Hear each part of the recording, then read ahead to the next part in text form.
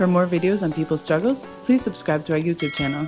In the beginning of December, the forces of Uganda and the Democratic Republic of Congo launched a joint operation in the DRC against the rebel group Allied Democratic Forces or ADF. The claim has been that this group is associated with the Islamic State. Close to 1,700 Ugandan troops have entered the DRC as part of this operation. The presence of Ugandan troops in the DRC has been a contentious matter due to its earlier invasion in the late 90s when it was accused of a lot of atrocities and crimes.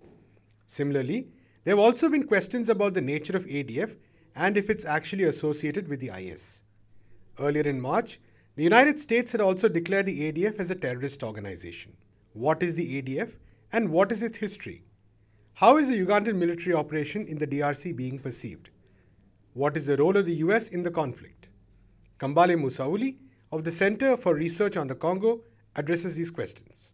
Indeed, I mean, it's the same question that Congolese people are asking themselves uh, on the ground. You know, why, after two decades of war, an invading country, uh, Uganda, is now in the DRC? I mean, we have to really put it in the proper context. But let's look at the ADF first. Uh, the Allied Democratic Forces is a insurgent group uh, that's been operating in DRC since the mid 1990s.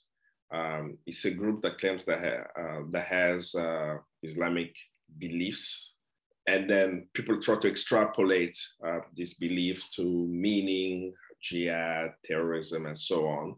Um, but they have a political claim. Uh, they believe that the president of Uganda, who's been in power since 1996, should not be in power, and they're fighting uh, from the political angle. That's an aspect sometimes that's forgotten. They've been in DRC, as I said, since the early 1990s. And in the period I've been in DRC, Uganda and Rwanda have been on the, uh, in the area where they operate you know, for the past two decades.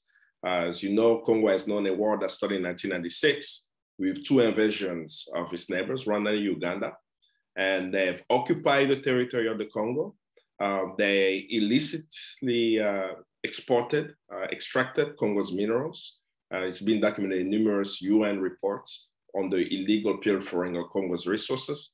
And even worse, uh, Rwanda and Uganda uh, fought each other uh, in the eastern part of Congo in a town called Kisangani, where uh, they were fighting over a diamond mine. And during the fight, um, they uh, dropped over 4,000 bombs in the city. Um, and the victims of that war still wait uh, for justice. And there was, of course, the obvious, the UN condemnation of the attacks. Uh, the other element that's really important to look at even uh, the entering of Ugandan uh, soldiers is the political and historic connections of the conflict in the Congo with Uganda. Uh, Congo sued the Uganda, uh, sued Uganda at the International Court of Justice uh, for war crimes, for pilfering of Congo's resources and so on.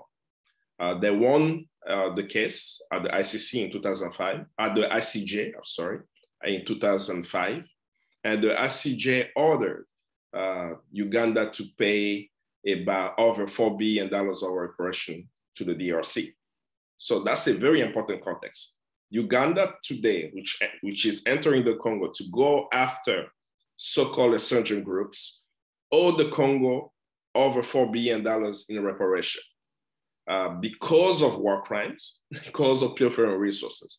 And they have operated in the region where these rebels are, and they've never stopped them. Now, as I'm saying in the beginning, we all were informed that they're coming into the DRC to go after the ADF.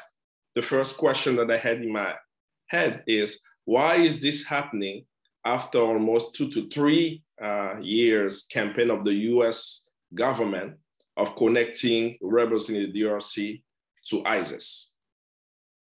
The US State Department and the Pentagon have continuously stated that the uh, insurgent group ADF is connected to ISIS.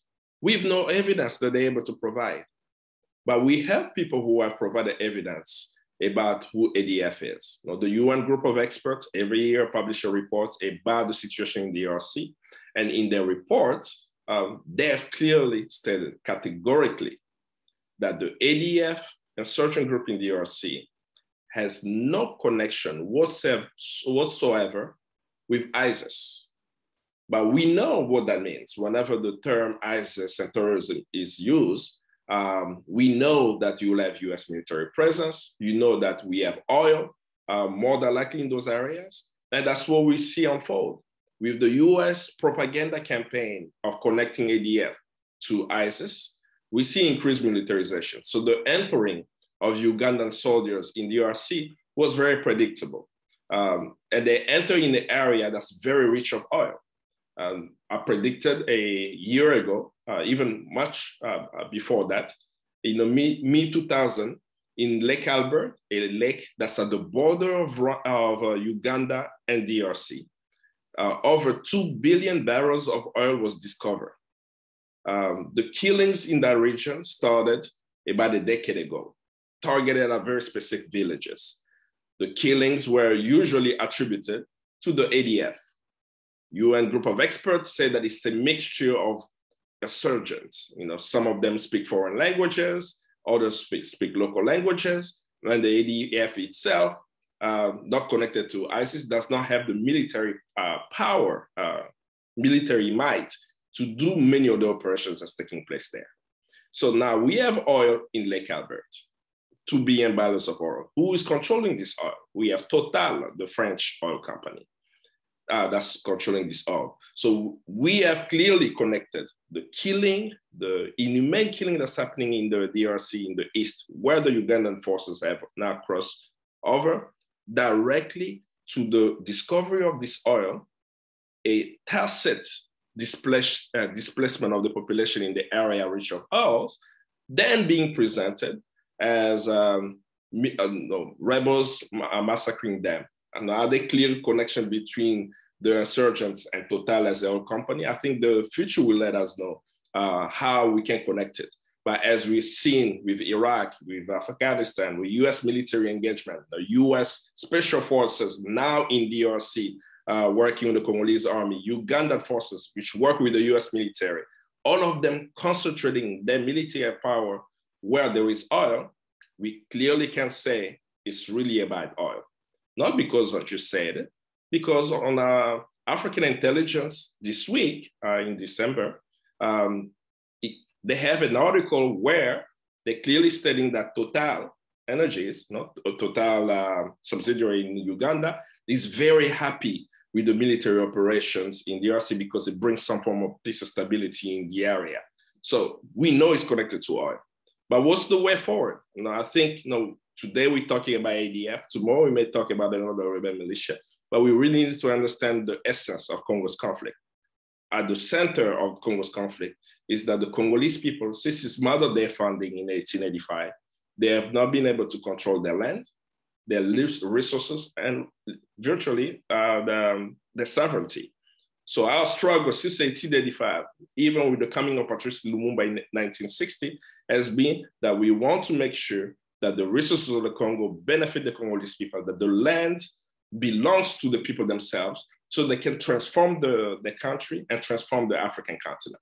But through uh, that process from 1996 now to present, in the Congolese struggle of controlling their land and resources, uh, they found themselves in war of invasions. The 96 war, that have taken the lives of over 6 million uh, people. We, uh, they have seen uh, mining corporation illegally uh, pilfering Congo's resources. In the case of the coltan, the cobalt, that's used in electric vehicles and so on.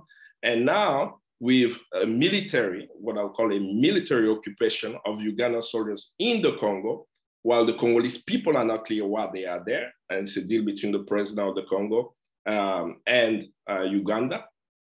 A military occupation and still no discussion about justice. As I said a moment ago, Uganda owes Congo over $4 billion of reparations for war crimes and uh, pilfering of Congo's resources. Until they pay their reparation, they have no business being in DRC. And we Congolese will continue to fight to regain our sovereignty and regain control of our land.